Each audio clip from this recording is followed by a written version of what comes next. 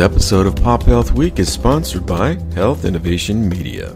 Health Innovation Media brings your brand narrative alive both on the ground and in the virtual space for major trade show, conference, and innovation summits via our signature pop-up studio. Connect with us at www.popupstudio.productions.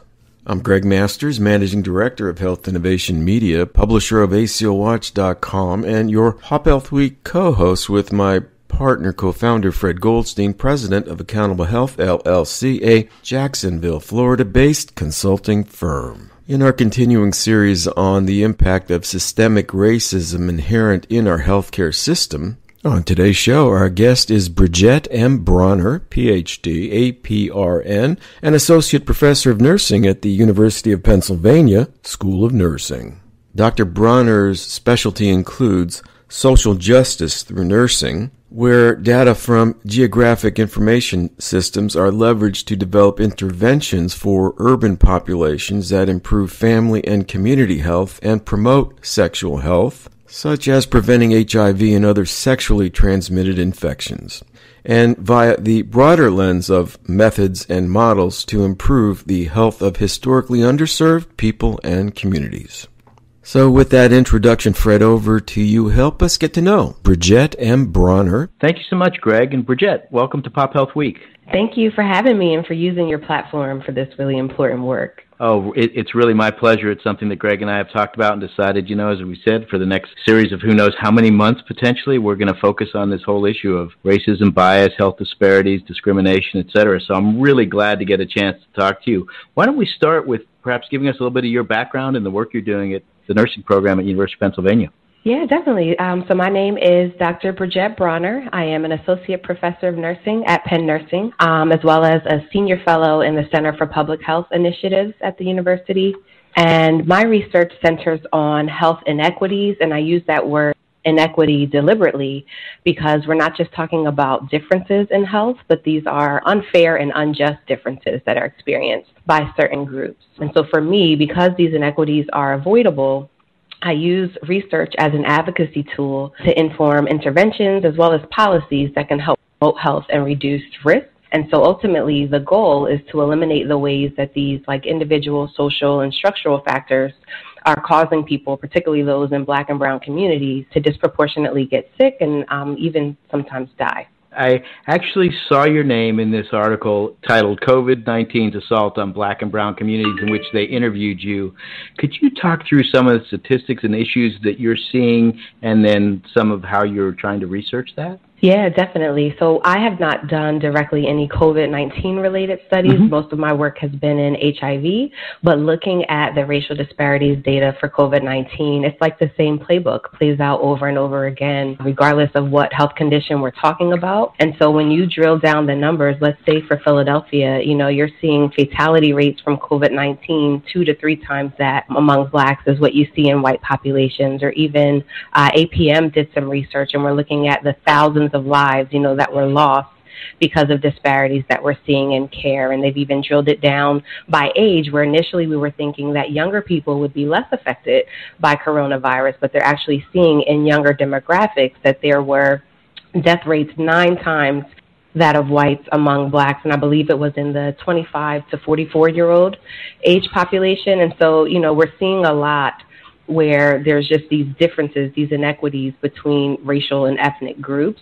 Uh, but what I really want us to hang our hat on is that these differences that we're seeing are not reflecting race, right? Race is a social construct. It is not something that is biological or genetically mm-hmm. driven. So the numbers, instead of reflecting race, they're actually showing us racism they're actually showing us what the shared experience of being Black, Latino, Native American, you know, Asian in America, what that's doing to the physical body and how it plays out in our health. And you mentioned a really good point that while we're clearly seeing this with COVID and it's getting a lot more attention, and I'm seeing it all over Twitter and in the press and the media about mm-hmm. the disparities, and as you said, the health inequities. Mm-hmm. It's been around in HIV for a, a long time, and you study that, even though we're not thinking about HIV as much. So could you sort of dive into that area and what we're seeing in HIV in terms of the differences in outcomes?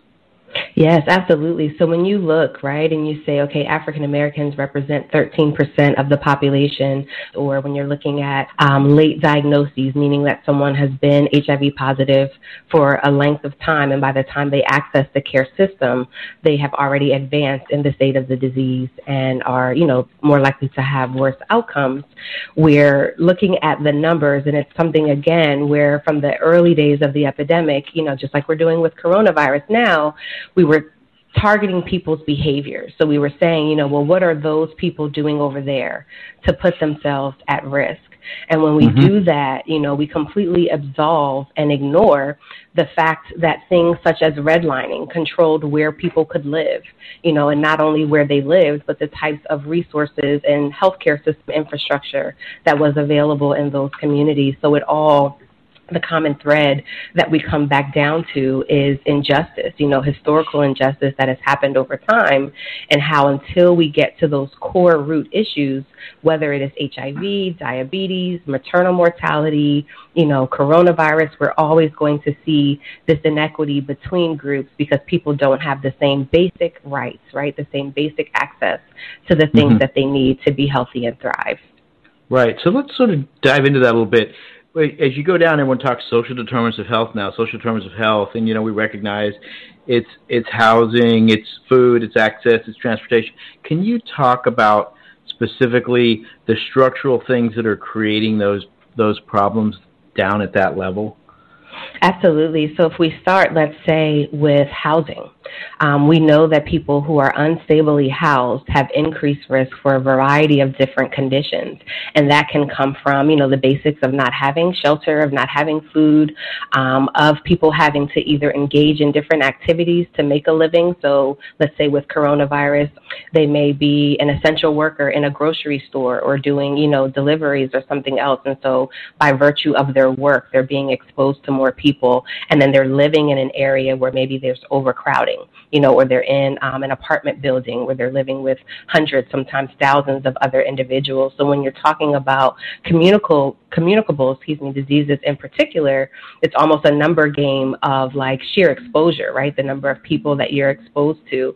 And so when we look at housing and access to housing is not only where people live, but the types of conditions that they live in, which also ties in, you know, with work and employment. Another determinant with employment is looking at, let's say, sick pay leave. So people who right now during this epidemic didn't have the privilege of working from home, they had to go to work. And we know that black and brown workers are disproportionately represented in that population.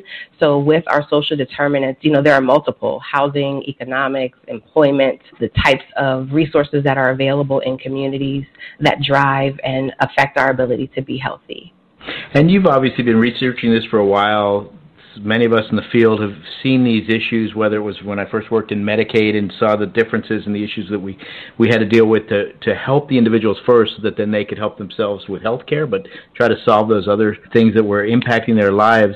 Who do we need to get that message out to now? Who needs to hear this?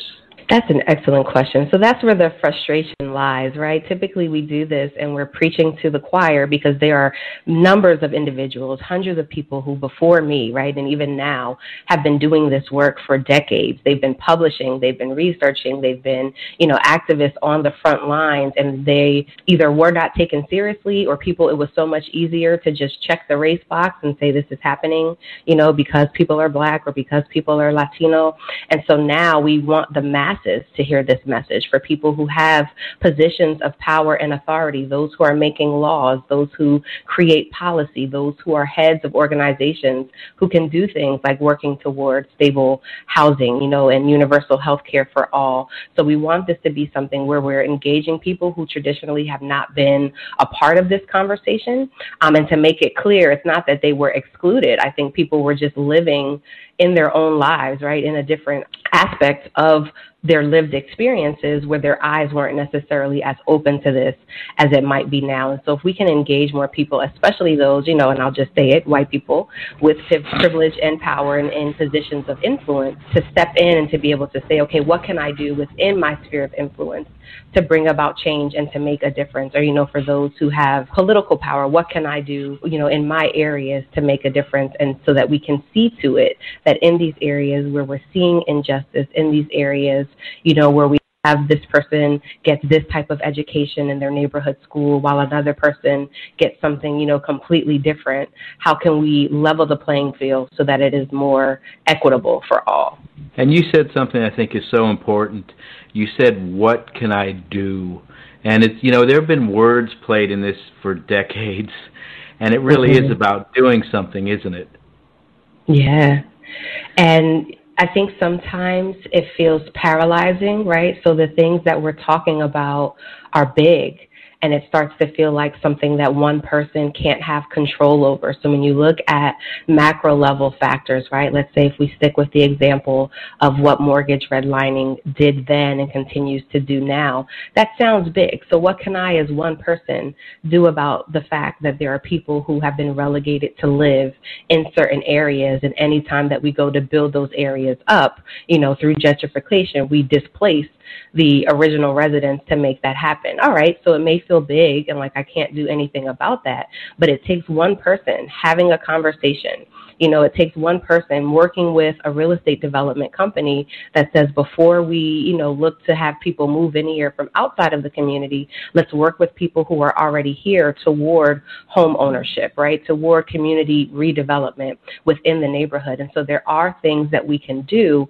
I think we just each have to really think strategically as far as what are we good at, where is our expertise, what resources are we tapped into, because truthfully we have exceeded the timeline to do nothing, right? Things can feel right. big and that can be very paralyzing, but we have come to a place where we literally, as a nation, can no longer afford to not address injustice because it is making us sick we are right. losing lives, you know, unnecessarily. And so if we can each just say, even if I make one phone call, even if I watch one webinar, you know, even if I revisit the policies of my own business, whatever role we play, if we each do something, I truly believe it can make a difference.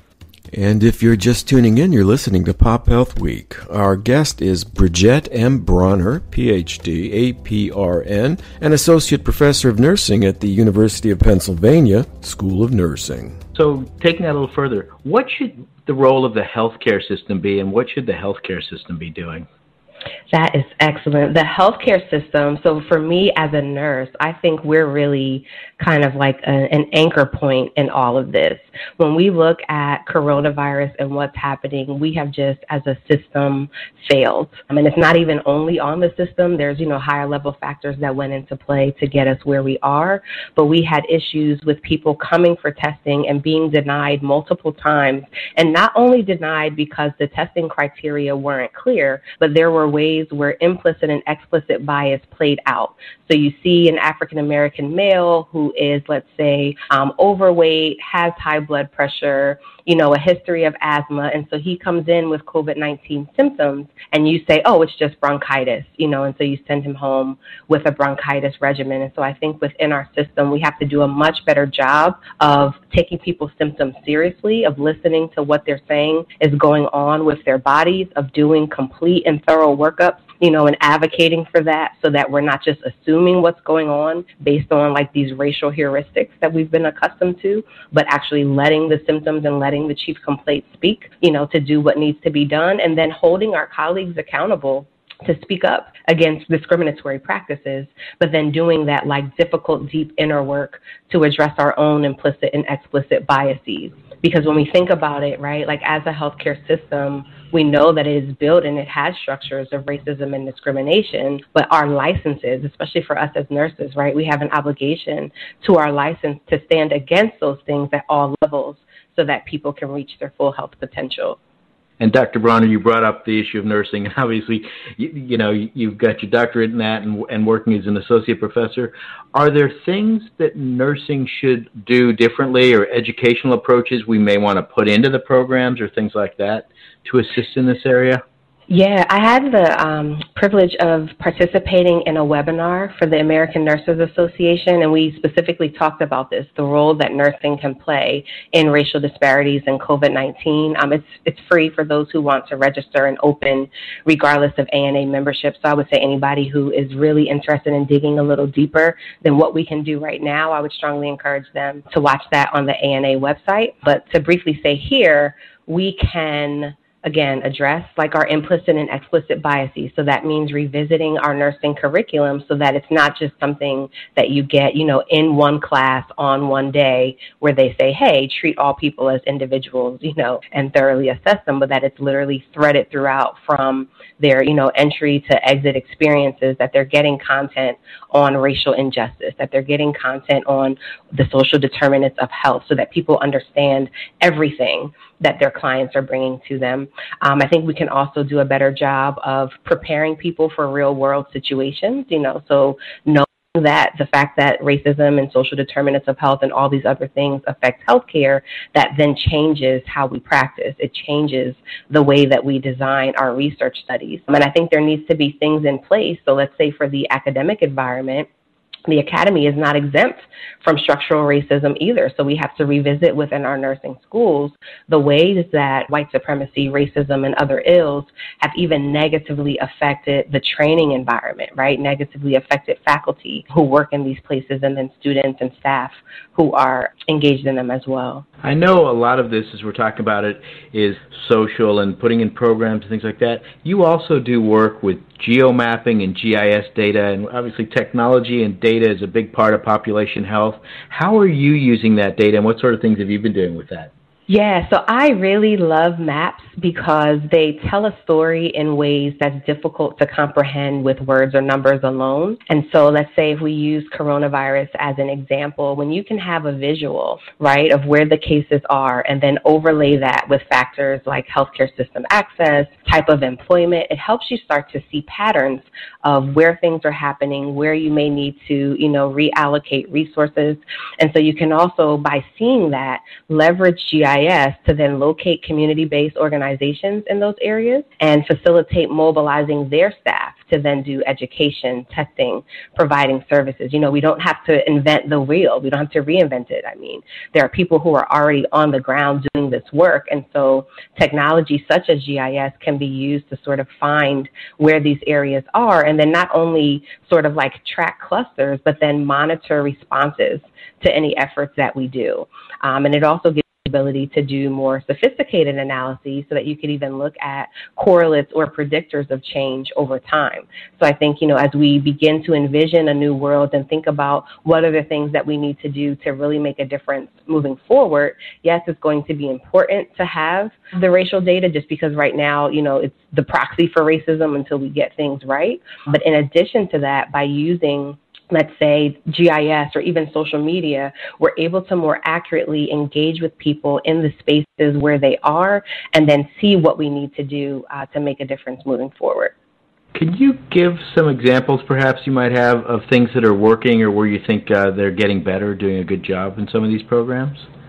Yeah, so a powerful example here in Philadelphia, there's a group called the Black Doctors Consortium, and they started out doing coronavirus testing with individuals, like going out into the community. So instead of saying, you know, come to this healthcare system to be tested, they were set up in parking lots in different areas, meeting people right where they were, and able to kind of like back, uh, bypass some of the barriers that we have to seeking treatment now. But I know from personal accounts that they had partnered with two of our largest churches in the city, uh, Enon Tabernacle Baptist Church, as well as the Church of Christian Compassion.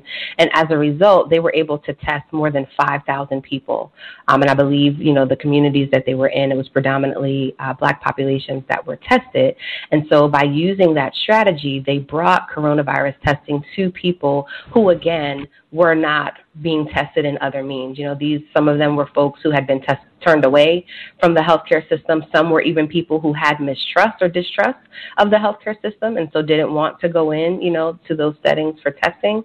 And so this is like you know a concrete example of a way that we can partner with community entities and even faith-based institutions so that we can more efficiently deliver these essential public health services And that gets to a really interesting point I've heard debated a couple times. You see these approaches that say, for example, let's take health literacy.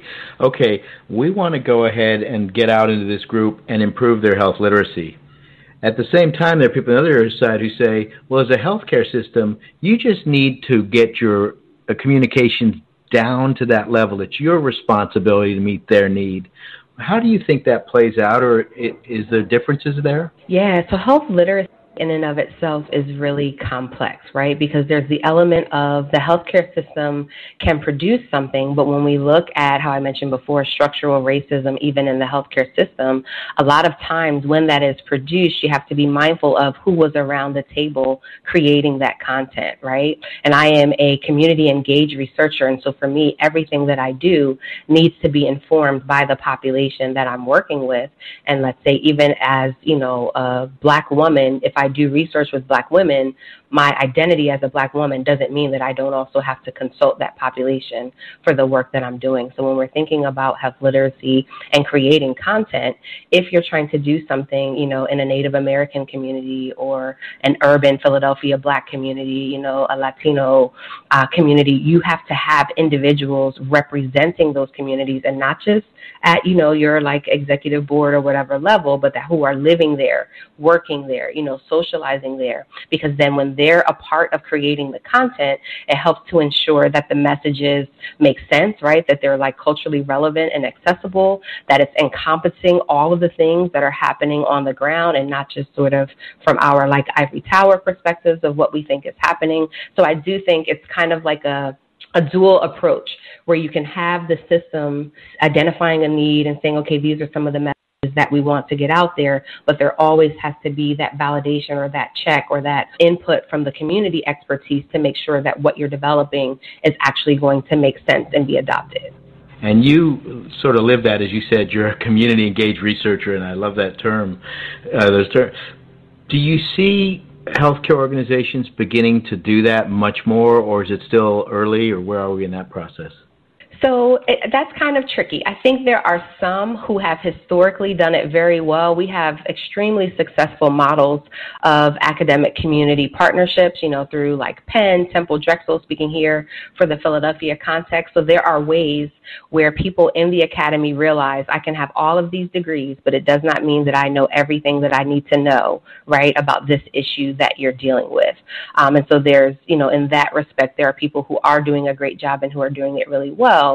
Um, some of it, though, ends up being sort of like pro forma, where I invite you, I invite, you know, one person to my meeting to say that I had a community representative, and then I move forward as though I had done focus groups with like 200 people. So there's people who are doing the work, but I think we can absolutely do a better job of not just engaging the community, but engaging them in meaningful ways. So let's say if you're running a research team, who's on your staff?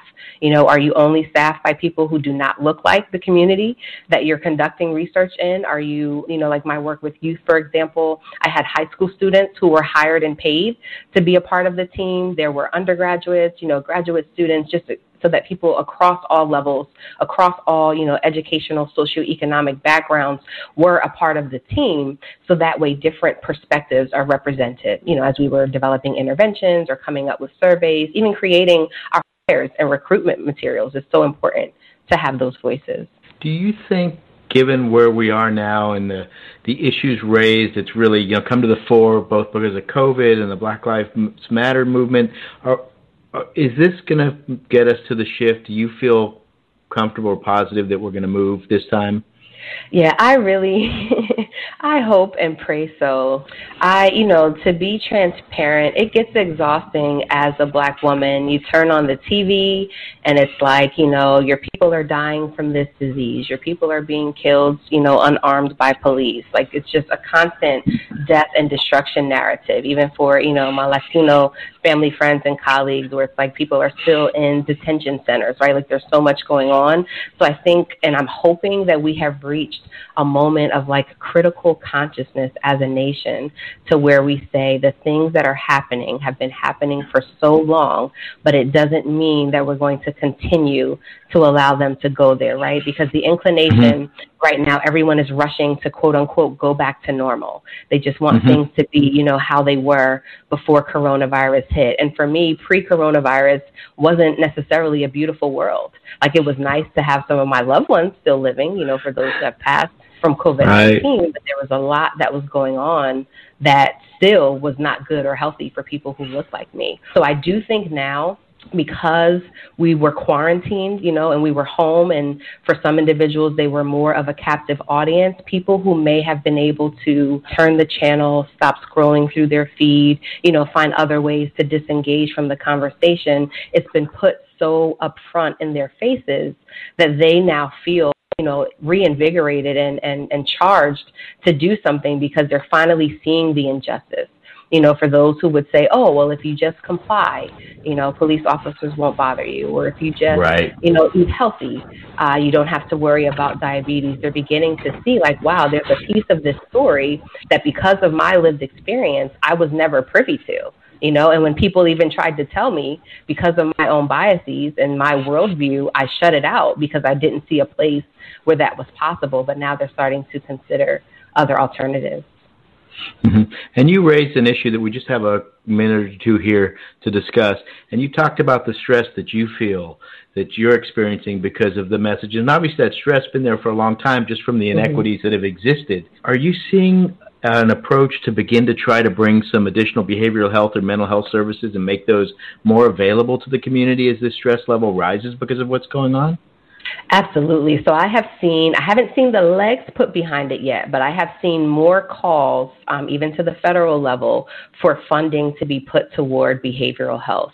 This is absolutely something when we think about racial trauma, when we think about, you know, weathering effects of just constantly being conscious of what's happening and the effect and toll that that takes on the body, we absolutely need to make sure that individuals have access to affordable, if not free, therapy options, right? We have to get messages out there so that people can engage in practices to counteract the trauma that they're experiencing, whether that's yoga, meditation, prayer, you know, spending time outdoors. And so I do see there is an uptick of interest, you know, of making these options available. And even for our healthcare providers who have been mm-hmm. on the front lines of this pandemic, they, you know, PTSD is real. And so when you right. have four, five, six people die in one shift, when before that was maybe only happening, you know, once a week or in a month, they're going to need supports as well. And so, yes, there have been calls to make that happen. Um, and I'm just hoping that people will follow through because all of these things that we're talking about need to have dollars behind it, right? There needs to be funding investment instead of just thoughts and well wishes and, you know, hashtags so that we can right. see things change it really is a question of doing something. And Dr. Brawner, I want to thank you for coming on. It's been fantastic to have you on Pop Health Week. Thank you so much for joining us. Thank you for having me. I was honored. I'll turn it back over to you, Gregg. And thank you, Fred. That is the last word on today's broadcast. I want to thank Bridgette M. Brawner, PhD, APRN, Associate Professor of Nursing at the University of Pennsylvania School of Nursing, for her time and insights today.